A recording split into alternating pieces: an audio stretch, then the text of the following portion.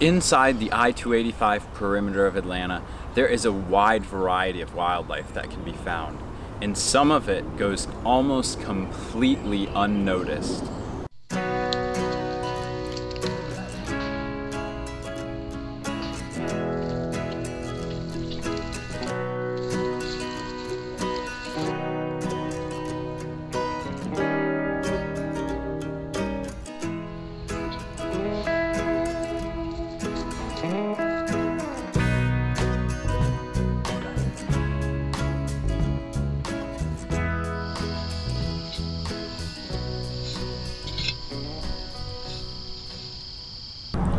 Georgia Audubon and Trees Atlanta have teamed up to get an idea of what some of the wildlife is that is using our urban green spaces.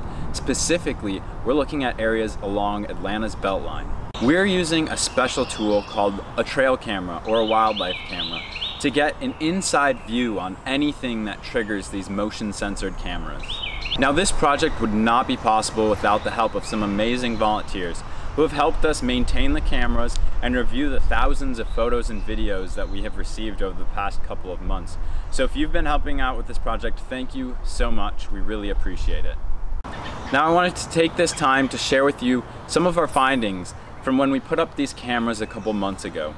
I hope you enjoy.